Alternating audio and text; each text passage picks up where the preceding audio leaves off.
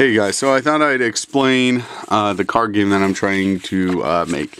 And basically how it would work is, these aren't actually the cards I'm using, but to explain it I thought I'd use them. Um, what would it would start out, you deal each player uh, like uh, five cards.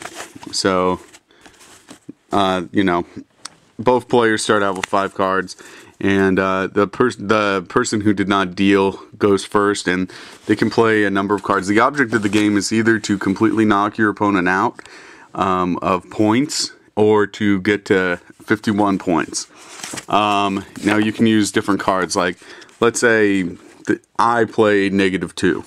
Well, if they had a card in their hand uh, like block, they would block it basically.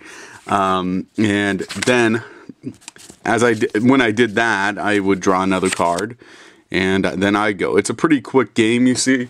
So you just keep throwing down cards um, until one of you either gets to 51 points or um, one of you just uh, gets completely knocked out. Basically, you'd have to get to 51 points. It's kind of a sum game because each Anyway, so you kind of get the concept of the game. Um, if you think that this is a good concept, uh, put it down below. If you think I should come up with something else completely different.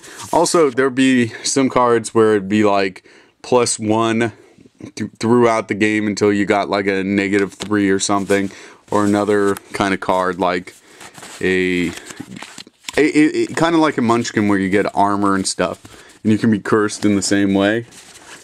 Um, I figure I'm going to add something cute on it too, because every game kind of needs that. Um, so that's the plan. Anyway, uh, leave a comment below if you have any ideas. Um, anyway, have a great day. Bye.